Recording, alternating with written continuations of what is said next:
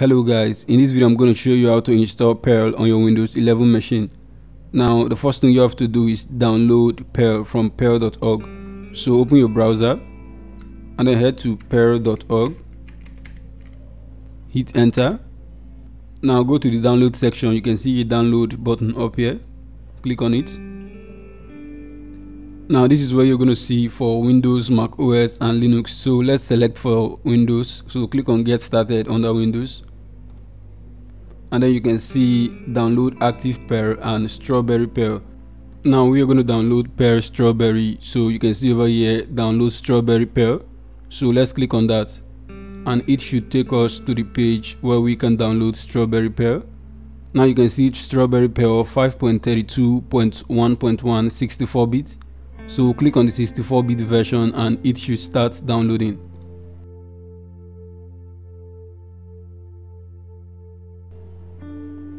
so you can see it has been downloaded successfully. Now we can close this close the browser and then open your download folder.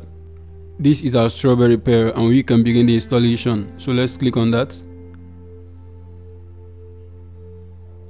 And then let's proceed with the installation. Next. Accept the terms. Next. Select the drive you want to install strawberry Perl next. Once you click on install it should begin the installation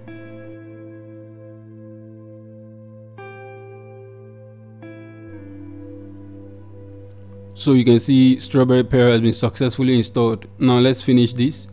So let's confirm if this is running. By running a simple program so we are going to use command prompts so type in Perl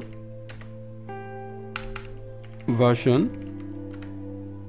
And you can see this is Perl 5 version 32 sub version 1 now we are also going to run a little program to print hello world. So let's open notepad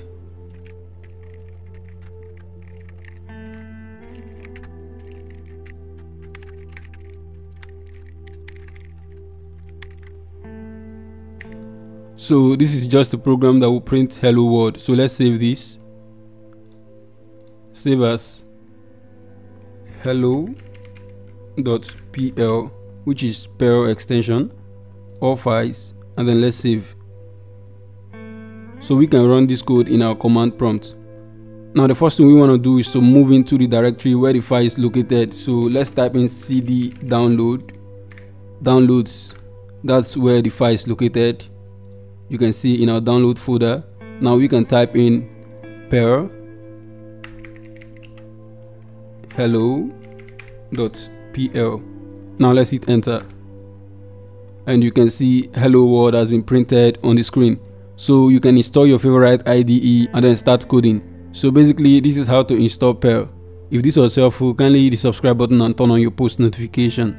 Thank you for watching and I will see you on the next one